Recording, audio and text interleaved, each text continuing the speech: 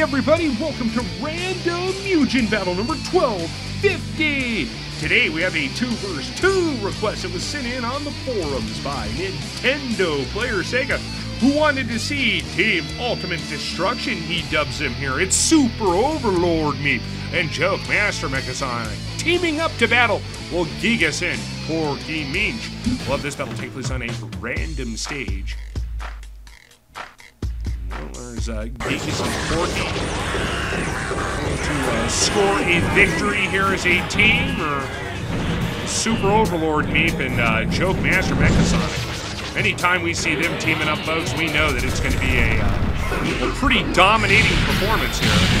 As I think even Giygas may hear uh, Super Overlord seeing mass destruction in the uh, highest form here, folks. I think uh, the Sentinel has been destroyed by Giygas here, but uh, Giygas needs to realize that Super Overlord Meep can summon an army of those. See, that's it.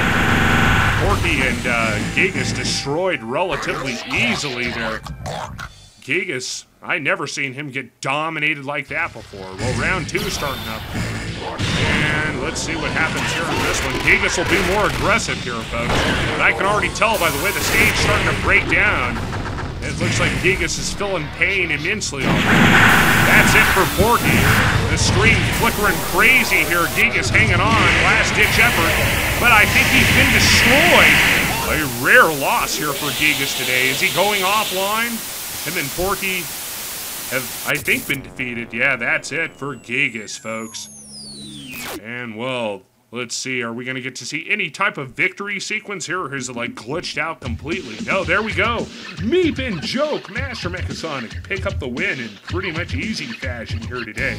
And I certainly hope everybody enjoyed this random huge battle. Up next, it's Request 1251, and that one is coming soon!